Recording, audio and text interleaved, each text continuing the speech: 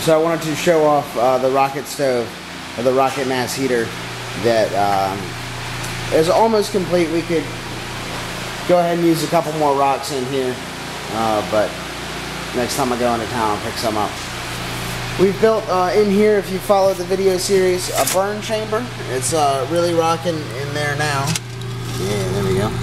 It's uh, pulling the air in uh, through this opening. We have a sideways burn that burns down there, back through here. Inside the barrel is an insulated heat riser that brings that exhaust gas up to the top of this barrel.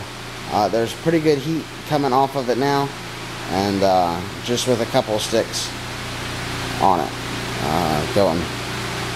So then this barrel circulates the exhaust gas back down uh, and as it cools uh, it finds its way into a pipe on the bottom that heats up all of these rocks over the course of several hours of burning and then it exhausts its way out up and through the greenhouse wall to where there is a chimney on the outside that's not really seeing uh, showing up on the video.